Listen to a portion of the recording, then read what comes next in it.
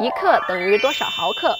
克是我们常见的质量单位，它是国际单位制中千克的千分之一。一克等于零点零零一千克，等于一千毫克。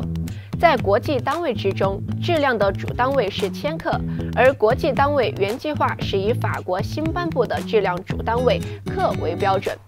但因为当时工艺和测量技术受限，因此制作了质量是克的一千倍的标准器，也就是一千克作为标准。而毫克也是一种国际通用的质量单位，它的英文简称是 mg，通常用来测量液体和药物成分。在我们的生活中，一克的重量大约相当于一立方厘米水在室温中的重量，五百克差不多是十个鸡蛋或者是一包食盐的重量。